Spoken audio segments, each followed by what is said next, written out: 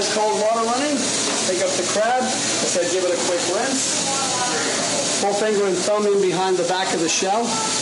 Grab the body right about center. Separate the shell from the body. Remove the gills.